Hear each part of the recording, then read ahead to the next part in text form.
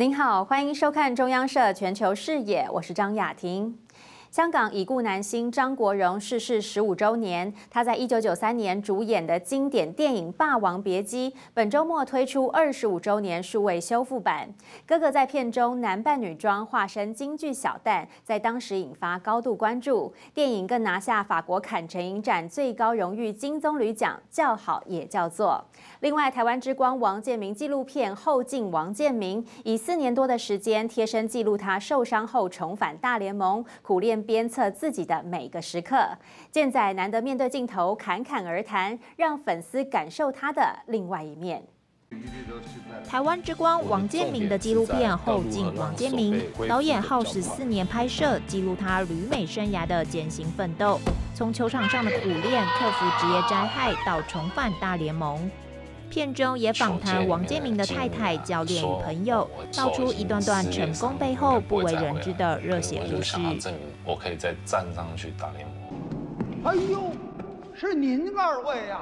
您二位。有二十多年没挨一块唱了吧？香港已故男星张国荣的经典电影《霸王别姬》是为修复版重登大荧幕，改编香港知名作家李碧华小说，是目前唯一一部荣获坎城影展金棕榈大奖的中国影片。片中张国荣化身京剧小旦，男扮女装，她爱上了戏里的丈夫，从此展开一段悲伤的苦恋。英国时尚设计师魏斯伍德的纪录片《Westworld》朋克时尚教母，记录他无畏不羁的穿搭以及言行风格，成为叛逆精神的代表。另外，也记录他关注社会议题，大力推动环保，参与气候变迁游行，在消费主义扩张的时尚帝国里，试图取得利润与环境永续发展的平衡。好莱坞英雄电影《水行侠》改编英雄漫画，主角为半人半兽的水行侠，为了阻止同母异父的弟弟企图统治人类世界，前往深海寻找传说中的神秘武器三叉戟，统治海底七国，成为维护世界和平的英雄。有别于其他英雄电影从陆地打到外太空，片中的打斗场景多半在海底世界进行，带来不一样的视觉响应。中央社综合报道。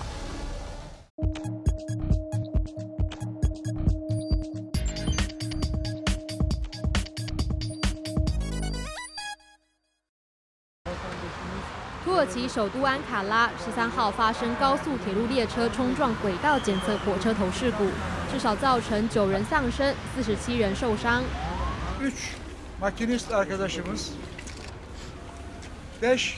vatandaşımız, yolcumuz hayatını kaybetmiştir. Hastaneye 48 yolcu sevk edilmiş. Bunlardan biri de hastanede maalesef hayatını kaybetmiştir.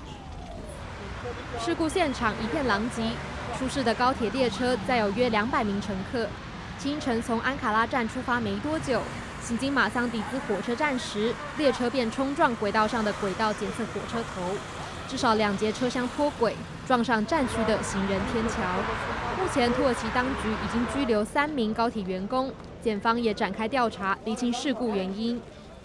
olay yerinde gerekli olay nedeniyle ilgili araştırma ve inceleme çalışmalarına başlanmıştır.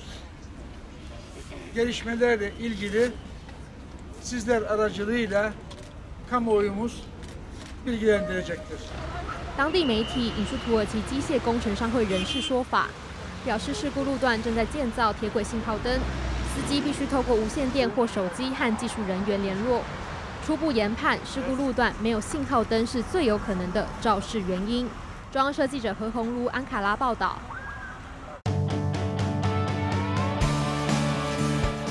中央社记者中央社记者雅加达来自美国首府华盛顿的采访报道。中央社拥有阵容最坚强的新闻团队，全球布局居台湾媒体之首，将近三十个据点。分布五大洲，以台湾观点掌握全球脉动。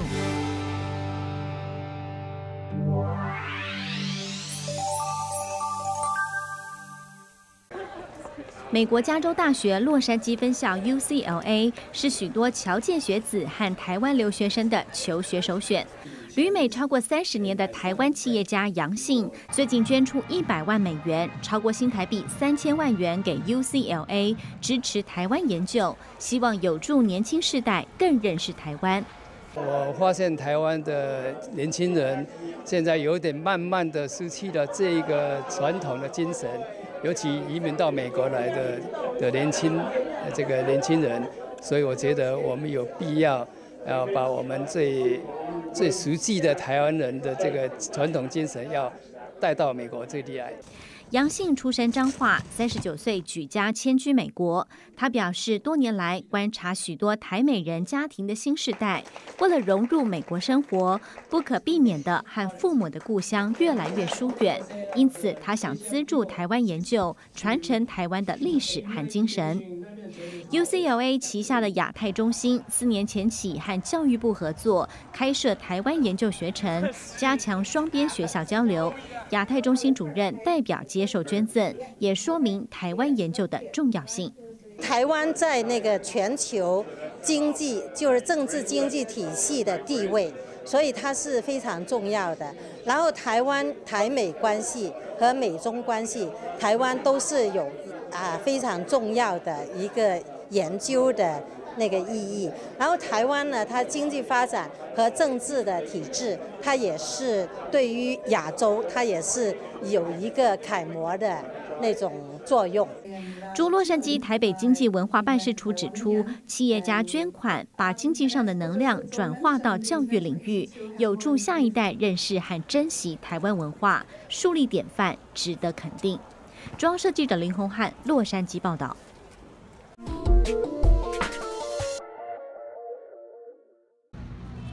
总统蔡英文和台北市长柯文哲蔡科会登场，这是九合一大选民进党大败后，总统首度和六都市长当选人会面，众所瞩目。双方先在北门广场会面，随后转往中华邮政大楼听取市政议题相关简报，包括大巨蛋、空总旧址、设置岛案开发案等。柯文哲都希望中央给予协助。是中央说，总统就是说，设置岛的防洪计划啊，需要中央协助的，就是流程快一点的。空总跟台北机长就说，看中央有什么想法了哦，看我大概大概紧。坦白讲，那大巨蛋是历史工业的哦。盖在这个地方也不是我们决定的哦。大巨蛋如果在在现有的基地面积里面去做它的公安处理，相当困难的。那如果大巨蛋要解套的话，变成要中央协助了。哦，要人车的疏散，需要中央协助啊，这个都牵涉到文化部啊。九合一大选才结束，台北市大同区士林区立委补选下个月紧接着登场，各界关注绿白合作成不成。因此，蔡总统和柯市长的会面，从地点选择、两人互动、脸上表情变化，都被放大检视。这个纸条是写什么？好，不要念了，好吧？这个纸条说，呃，有媒体说，呃，我们好像没什么互动。可是你要想，我们两个是坐在隔壁，我们共同听简报。说他讲什么，我们都都都套好招的，所以。所以我都 我我是很很很乖的，按照剧本演的嘛。柯文哲进一步澄清说，套好招是指会谈流程和内容，双方幕僚先前已定，自己只是按表操课而已。两人对于绿白合作议题回答都显得避重就轻，聚焦台北市建设议案。蔡总统强调支持北市建设，指出过去两年半，行政院和台北市政府积极合作，现在盘点下一阶段要合作的计划，未来协调执行会更聚焦、更有效率。中央社记者洪黄君、叶冠莹、王怡文台北报道。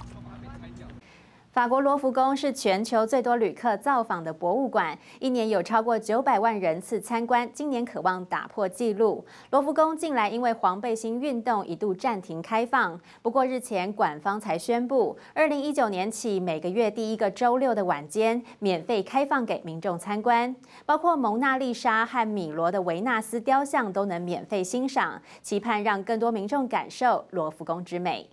感谢您的收看，我们在华视频道和中央社网站都有播出。我是张雅婷，我们再会。